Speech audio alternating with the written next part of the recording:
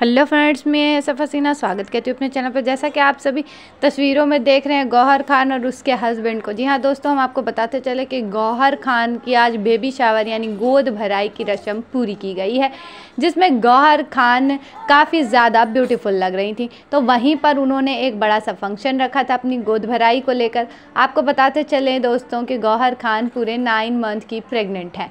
वो कभी भी खुशखबरी सुना सकती हैं। वेल दोस्तों, आपको बताते चलें कि गौहर खान के इस पार्टी में कई बड़े बड़े हस्तियों ने भी शिरकत की थी। अगर हम बात करें गौहर खान के लुक की तो गौहर खान ने अपने हस्बैंड से मैच किया हुआ आउटफिट वेयर किया हुआ था। जिसमें गौहर खान ने एक रंगीन कपड़े, एक रंगीन गाउन के साथ वहाँ पर एंट्री की, जिसमें गौहर खान बहुत ज़्यादा खुश नज़र आ रही थी। साथ ही में उन्होंने डांस पार्टी भी इंजॉय किया और गौहर ने डांस भी किया। तो वहीं पर उनको बताते चले कि उनकी थीम जो थी, उनकी गोद भराई की, बिल्कुल वो एक गोद भराई जैसी ही थीम थी, जहाँ पर छोटे छोटे चीज़ों का भी ख्याल रखा गया था। अगर हम गौहर खान के फ़ंक्शन की डेकोरेशन की बात करें तो उन्होंने एक बड़े से एक बड़े के जैसे और एक बच्चे के जैसे थीम को रखा था। वेल दोस्तों, अगर वीडियो अच्छी लगी हो तो लाइक सब्सक्राइब